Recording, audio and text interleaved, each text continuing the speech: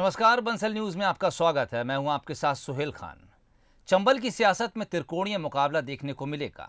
इस बीच कांग्रेस ने उपचुनाव में जीत के लिए एक्शन प्लान पर काम करना शुरू कर दिया है। पीसीसी चीफ ने संगठन को मज़बूत करने की कवायद तेज कर दी है। तो सुर्खी में बीजेपी सेक्टर सम्मेलन कर मतदाताओं को साधने में जुट गई है। आगर में फोरलेन का मुद्दा भी गर्मा रहा है। फोरलेन की मांग को लेकर जनता भी मुखर होने लगी है। वहीं बदनावर में कांग्रेस, साम दाम दंड भेद, किसी भी तरह से विरोधी को पस्त करने के फॉर्मूले पर काम कर रही है। तो उपचुनाव से जुड़ी ये सारी खबरें लेकर हम हाजिर हैं अपनी इस खास पेशकश उपचुनाव का चक्रव्यूह में।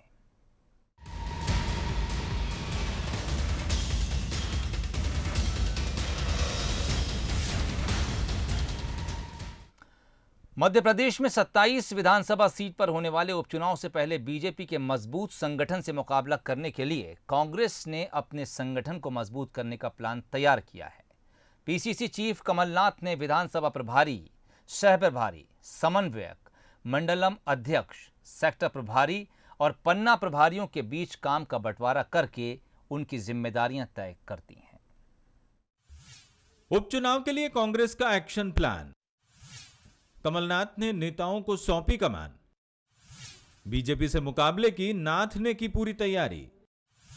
बीजेपी की रणनीति कांग्रेस पर पड़ेगी भारी। पीसीसी चीफ कमलनाथ ने विधानसभा प्रभारियों को सह प्रभारी, समन्वयक और सहायक समन्वय को विधानसभा क्षेत्र के बूथ आवंटित करने के लिए कहा है। इस कवायद के पीछे नाथ का मकसद स्थानीय संगठन को मजबूती देना है। इसके साथ ही विधानसभा क्षेत्रों के आईटी विभाग को बूथ स्तर तक सक्रिय बनाने और व्हाट्सएप ग्रुप बनाने के निर्देश भी दिए गए हैं। मतलब साफ़ है कि जिम्मेदार नेताओं को लगातार मंडलम की मीटिंग कर उसका फीडबैक पीसीसी को देना है। सह प्रभारी, समन्वयक और सहायक समन्वयकों को बूथ के आधार पर विधानसभा की ज़िम्मेदारी दी गई है।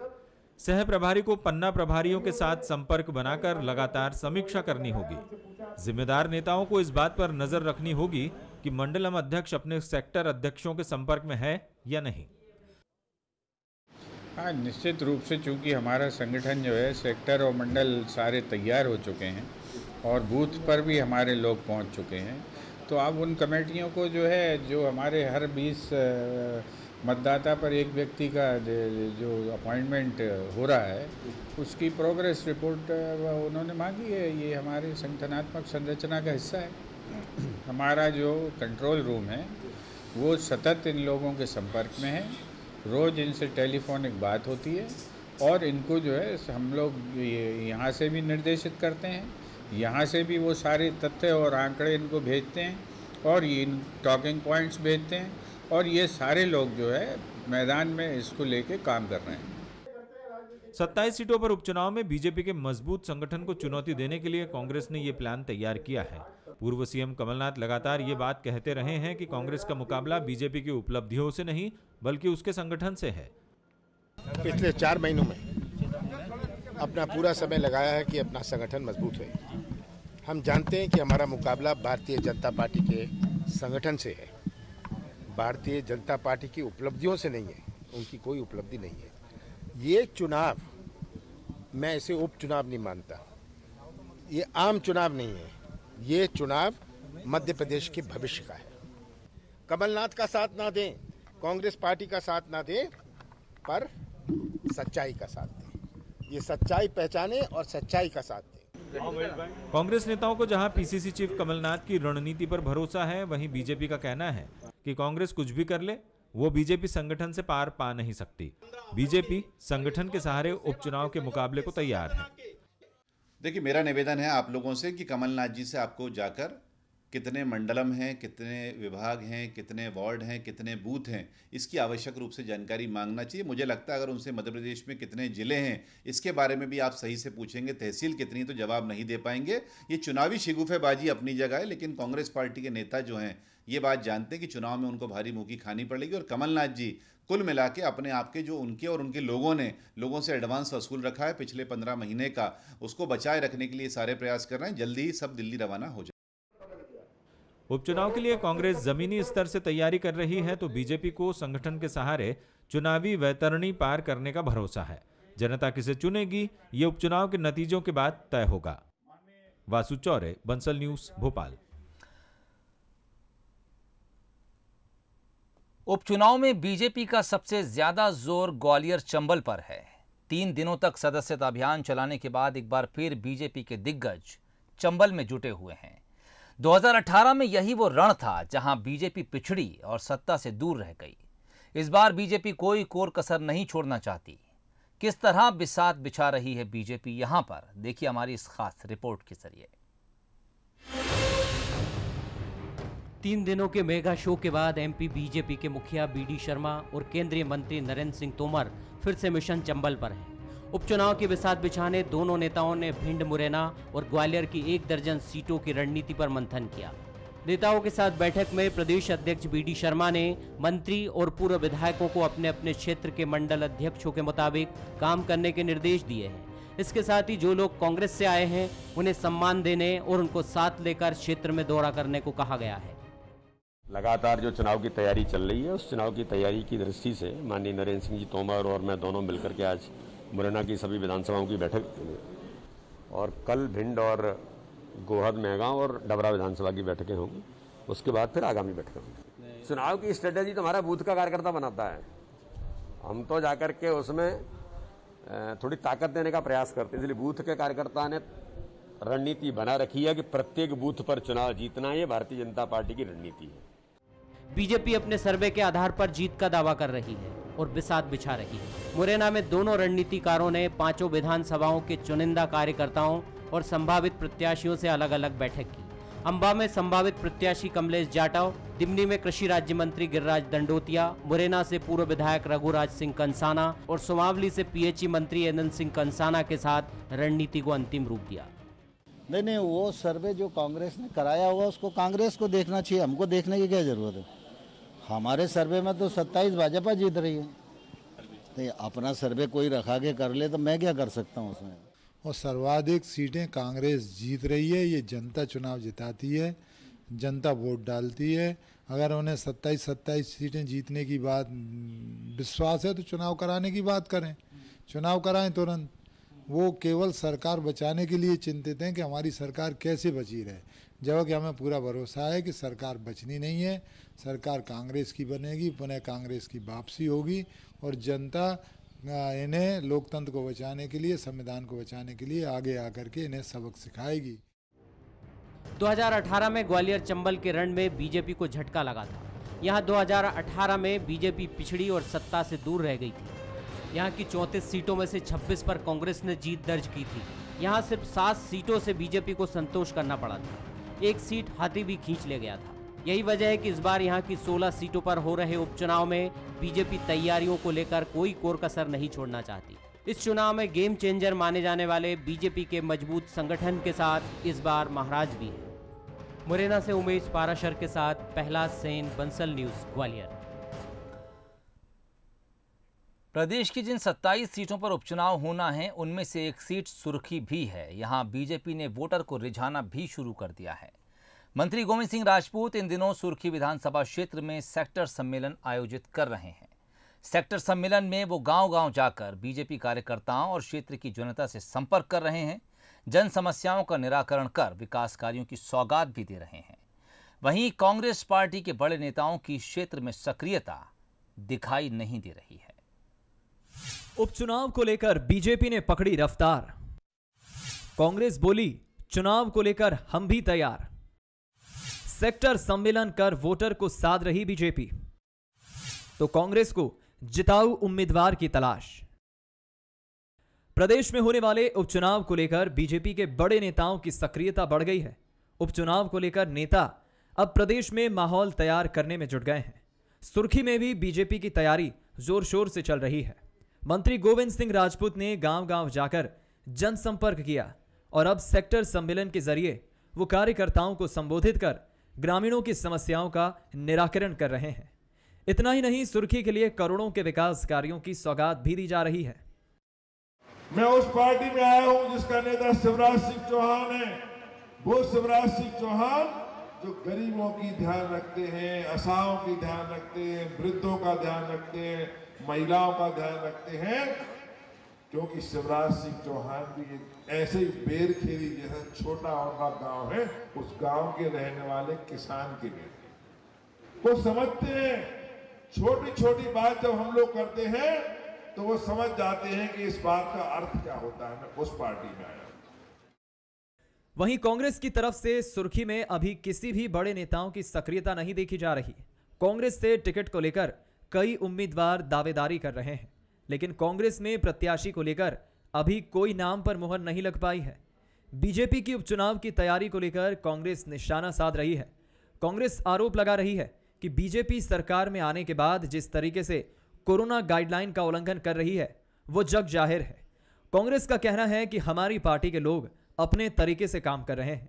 कांग्रेस पार्टी ने निचले स्तर पर मंडल, बूथ स्तर पर जो प्रभारी बनाए हैं वो गाइडलाइन का पालन करते हुए जमीनी स्तर पर काम कर रहे हैं, जो जनता का विश्वास जीतने में कामयाब होंगे और इसका फ़ायदा हमें मिलेगा। भारतीय जनता पार्टी सरकार में आने के बाद जिस तरीके से कोरोना गाइडलाइन का उल्लंघन कर रही है, ये जग ज़ाहिर है। हाँ ये बात सही है, कांग्रेस पार्टी के लोग भी अपने तरीके से काम कर रहे हैं। हमारे कांग्रेस पार्टी ने भी निचले स्तर पर जो मंडलम है, बूथ कमेटी है, सेक्टर कमेटी है, इन सब पे जो प्रभारी बनाए हुए हैं, उन प्रभारियों के माध्यम से हम लोग कोविड 19 का पालन करते हुए, सारे के सारे नियमों का पालन करते हुए हम लोग अपने स्तर पर ज़मीनी काम कर रहे हैं, जो जनता का विश्वास जीतने में कामयाब हो रहे हैं और इसका फ़ायदा हम लोगों को मिलेगा कांग्रेस चाहे कुछ भी दावा करे, लेकिन उपचुनाव को लेकर बीजेपी जिस तैयारी के साथ मैदान में दिखाई दे रही है उसे देखकर यह साफ़ है कि कांग्रेस कहीं ना कहीं तैयारियों में बीजेपी से पिछड़ती दिख रही है।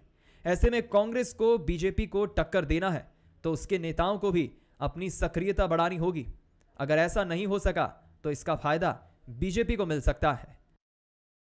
पंकज प्रजापति, सागर, बंसल न्यूज़। चाणक्य नीति कहती है कि साम दाम दंड भेद। किसी भी तरह से विरोधी पस्त हो तो उसे करना चाहिए। सियासतदां इस नीति का इस्तेमाल बखूबी करते हैं और ये नज़र भी आती है जब चुनाव नज़दीक आते हैं। बदनावर में कांग्रेस इसी नीति का इस्तेमाल बीजेपी के उम्मीदवार और प्रदेश के उद्योग मंत्री राज्यवर्धन दत्ती गाँव को घेरने में कर रही है। हालाँकि दत्ती गाँव और बीजेपी नेताओं को इससे कोई फ़र्क नहीं पड़ रहा है। क्योंकि एहसान है मुझ पे। महाराज ज्योतिराज संध्या का टिकट दिलाया उन्होंने मुझे। एहसान बाकी नहीं रखना किसी ये मेरे पिताजी कह गए थे तो तेरा तुझको अर्पण क्या लागे? मेरा आपको धन्यवाद दे रहा हूँ। उद्योग मंत्री राज्यवर्धन दत्तीगांव का यह डेढ़ साल पुराना वीडियो है, जिसे कांग्रेस एक बार फिर सोशल मीडिया पर प्रसारित कर रही है। वीडियो उस समय का है, जब दत्तीगांव कांग्रेस में थे और उन्हें कमलनाथ सरकार में मंत्री नहीं बनाया गया था। तब उनके समर्थकों ने इस्तीफा देने की पेशकश की थी। उस वक्त उन्होंने कहा था कि किसी को इस्तीफा देने की ज़रूरत नहीं, बल्कि इस्तीफा देंगे तो वो खुद देंगे। वीडियो में दत्ती गाँव ने ज्योतिरादित्य सिंधिया को लेकर कहा था कि ये उनके और सिंधिया के बीच का मामला है, क्योंकि सिंधिया ने ही उन्हें टिकट दिलवाया था, इसलिए वो खुद ही हिसाब किताब करेंगे। आप में से किसी को इस्तीफा देने की ज़रूरत नहीं है। राजवर्धन सिंह दत्ती का अपना इस्तीफा लिख के ज्योतिरादित्य सिंधिया के घर रखाएगा। ज़ाहिर है, एक नेता को अपने समर्थकों को साधने के लिए ऐसी बातें करनी पड़ती हैं, जो कार्यकर्ताओं के मनोबल को टूटने ना दें। दत्ती गाँव ने भी ऐसा ही किया, मगर कांग्रेस इस मसले को ज्योतिरादित्य सिंधिया और दत्ती गाँव के बीच मनमुटाव के रूप में प्रसारित कर रही है। साथ ही नगर परिषद के सरकारी कार्यक्रम को लेकर भी जो होर्डिंग्स लगे, उसमें भी सिंधिया की तस्वीर नहीं थी। ऐसे में कांग्रेस नेता ये कह रहे हैं कि दत्ती गाँव मंत्री बनने के बाद ज्योतिरादित्य सिंधिया को भूल गए। आज जब वो उद्योग मंत्री बन गए मध्य प्रदेश शासन में तो अब उन्हें उनकी आवश्यकता नहीं है। आज राजवर्धन सिंह दत्तीगांव ने महाराज से दूरिया बना ली है। पूर्व जब विधानसभा चुनाव हुए थे और उसके बाद एक बदनौर में संजो गार्डन में उन्होंने मीटिंग रखी थी, उस मीटिंग में महाराज का बहुत अपमान किया, क्योंकि इन्हें लालसा थी कि मुझे मंत्री बनाया जाए मगर जब ये मंत्री नहीं बने तो इन्होंने महाराज को बहुत भला बुरा कहा। आज हम देख रहे हैं कि जो इन महाराज और राजवर्धन सिंह जी दत्ती गाँव में जो दूरियाँ बनी हुई है, उसका एक सीधा सीधा उदाहरण मिल रहा है। कि जो बदनावर में बैनर, पोस्टर लगे, उसमें महाराज का कहीं से कहीं तक फ़ोटो नहीं है। यह एक प्रतीत करता है कि आज इनके बीच में दूरियाँ हैं। कांग्रेस नेता कुछ भी कहें, मगर वो ये भूल गए कि सरकारी कार्यक्रम के होर्डिंग्स में चुनिंदा लोगों की तस्वीरें ही लगाई जाती हैं। और ज्योतिरादित्य सिंधिया बदनावर के जनप्रतिनिधि नहीं हैं, बल्कि वो मध्य प्रदेश से राज्यसभा के सांसद हैं। कांग्रेस का ये भी कहना है कि सिंधिया पिछले दिनों उज्जैन आए मगर बदनावर नहीं आए, जबकि वो आ सकते थे। बीजेपी नेताओं ने कांग्रेस के इन आरोपों पर करारा जवाब दिया है। भंवर सिंह शेखावत, जो इस समय अपने बागी तेवरों के साथ सुर्खियों में हैं, वो खुद इस मामले में राज्यवर्धन दत्तीगांव के समर्थन में खड़े नज़र आए। तो वहीं खुद राज्यवर्धन दत्तीगांव का कहना है कि उज्जैन में महाकाल की सवारी में सिंधिया परिवार का सदस्य हर साल शामिल होता है। ऐसे में बेहद व्यस्त दौरा था। और सिंधिया कब आएँगे वो पार्टी तय करेगी। गाँव को तय करना है ना उसके फ्लैक्स में किसका फ़ोटो छपेगा? ज्योतिरादित्य का अगर कोई फ्लैक्स होता तो ज्योतिरादित्य खुद तय करते। दत्ती गाँव का फ्लैक्स है तो दत्ती गाँव तय करेंगे किसका फ़ोटो लगेगा। वो तो उनका परिवार तो हर साल उज्जैन जाता है शायद आपको पता नहीं होगा। वर्षों से जाता रहा पीढ़ियाँ जाती रही। हर साल। अभी आज गए पहले नहीं उनके परिवार का कोई न कोई व्यक्ति उज्जैन प्रतिवर्ष आता है। आप रिकॉर्ड उठा के तुलसी सिलावट के लिए कैंपेन करने दे, पहुँचे थे सावेर बदनावर कब पता नहीं। अब ये तो संगठन तय करे। कांग्रेस उपचुनाव में ये दांव चल रही है कि ज्योतिरादित्य सिंधिया और उनके समर्थकों के बीच सब कुछ ठीक नहीं चल रहा। मगर हकीकत ये भी है कि ज्योतिरादित्य सिंधिया और उनके समर्थकों ने बीजेपी में शामिल होने के बाद पार्टी की रीति नीति को अपना लिया है और कांग्रेस नेताओं को ये बात हजम नहीं हो रही कि आखिरकार इतनी जल्दी कैसे पार्टी की रीति नीति से सभी लोग मेल खा गए? हकीकत ये भी है कि कांग्रेस के पास दत्ती गाँव के मुकाबले कोई ऐसा चेहरा नहीं है जो चुनावी मैदान में उन्हें टक्कर दे सके। ऐसे में कांग्रेस साम दाम दंड भेद वाली नीति का इस्तेमाल कर रही है। अब सियासत है।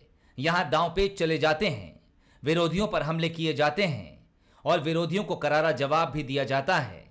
और ऐसा ही कुछ बदनावर के चुनावी समर में भी नज़र आ रहा है। महेश पाटीदार, बंसल न्यूज़, बदनावर। पोहरी उपचुनाव की लड़ाई त्रिकोणीय होने की पूरी संभावना है। दरअसल बसपा के फैसले से कांग्रेस, बीजेपी दोनों ही दल भौचक हैं। ज़्यादा सीटें जीतकर बसपा में भी सत्ता की चाबी हथियाने की उम्मीद जग रही है, जिसके तहत बीजेपी और बसपा ने मैदान में प्रत्याशियों को उतार दिया है। लेकिन कांग्रेस अभी भी प्रत्याशियों को लेकर असमंजस में दिखाई दे रही है। प्रदेश में होने वाली उपचुनाव की जंग त्रिकोणी होगी। बीजेपी और बहुजन समाज पार्टी ने तो अपने प्रत्याशी तय कर दिए हैं। वहीं कांग्रेस के आलाकमान सर्वे का इंतज़ार कर रहे हैं। पोहरी विधानसभा में बीजेपी के प्रत्याशी और राज्य मंत्री सुरेश धाकड़ लगातार गांव-गांव जाकर जनसंपर्क कर रहे हैं। तो बसपा से कैलाश कुशवाहा भी प्रचार में जुट गए। लेकिन कांग्रेस अभी भी असमंजस में नज़र आ रही है। कांग्रेस के संभावित प्रत्याशी राम सिंह यादव का कहना है यादव समाज का बीस हज़ार ऐसी ज़्यादा वोट पोहरी विधानसभा में निर्णायक भूमिका में होता है। लेकिन उस समाज के व्यक्ति को कभी भी टिकट नहीं दिया गया। इसलिए मैं अपनी उम्मीदवारी जता रहा हूँ। हालाँकि उन्होंने ये भी कहा है कि पार्टी किसी को भी टिकट दे, हम सब मिलकर कांग्रेस को जिताएँगे। ठीक है, टिकट तो देखो क्या है, टिकट नॉर्मल प्रक्रिया। वो सब मांगते, मांगना, में कोई बुराई नहीं। तो मांगना भी चाहिए।